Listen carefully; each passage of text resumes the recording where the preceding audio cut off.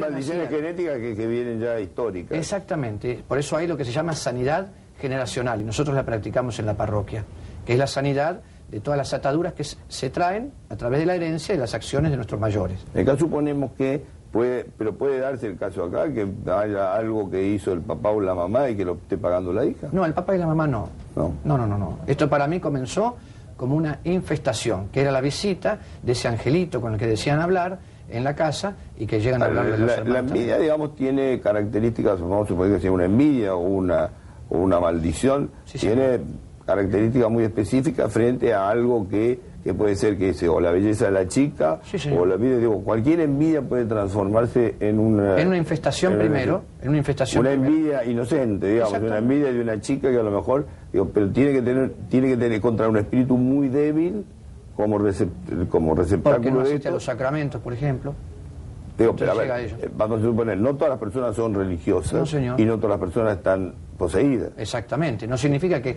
Digo, el no tener una religión no significa que, lo, que esté poseído. No, no, no, porque la infestación también puede darse en, en el caso de un, de un creyente. Y muchos santos fueron también vejados por el demonio, ¿no es cierto? El Padre Pío, por ejemplo, sufría en su propio claustro, sufría los golpes de Satanás. O sea que también llega la persona creyente. No se necesita ser pecador para recibir una visita satánica, pero sí se necesita estar advertido de que esa visita puede lastimar tanto el presente de la persona como su futuro. Eh, a partir de, tres exorcismos. Sí, señor, sí. Dos en el caso de Noelia, ¿no es cierto? Dos en el caso de, dos en el caso de Noelia. O sea, uno, pero uno sacaste dos espíritus. Sí, señor. Y después el tercero. Exactamente, señor. ¿Cómo se sabe que va quedando un espíritu maligno? Porque sigue los síntomas. yo le explico, esto es como los, la dimensión de, las diferentes dimensiones, las diferentes caras de un cubo. Uno puede escuchar, el exorcista ya tiene costumbre de eso, yo llevo más de 150 exorcismos hechos. Esas diferentes caras del cubo van mostrando una y otra personalidad habitante en el sujeto que está victimizado por Satanás.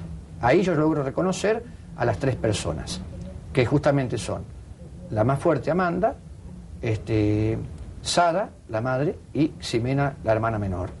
Estas personalidades... Es una familia inexistente para la familia, es una familia que existió, habitaba en ella nada más. Exactamente. Y las primeras de ellas dos son atraídas... ¿Y qué pasó con esas personas? ¿Murieron? Esas personas murieron. Murieron. Primero muere Amanda, y Amanda muere en un accidente, este, ahogada. ¿Quién a eso? Eh, ¿Quién, lo contó esa historia?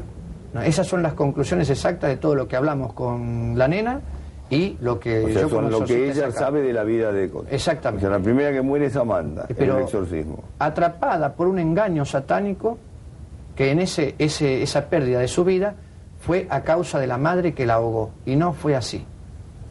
O sea, ella tenía la idea de que la madre, que la madre había ahogado. Es uno de los personajes que ella tenía dentro. El más importante. Que no sabemos en qué generación estaba. No sabemos en qué generación, pero sí era la niña de 8 años a la que se refirió su papá. No, Ximena. Ximena. Una más pequeñita todavía, que tendría 3 o 4 años, que estaba acompañada por su madre, Sada. Ellas dos sobrevivieron, por supuesto, a Amanda, y usted en el primer video puede ver muy bien que ella grita el nombre de, Amanda. Lo grita. Mm.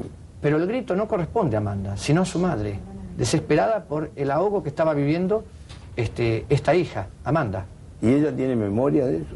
¿La nena? Sí. No, esto no lo puede No lo puede recordar. No, no, no, Y está bien que no lo recuerde porque esa es la misericordia de Dios. Ella ha comenzado una nueva vida y todos deseamos que esa vida sea de mayor éxito posible.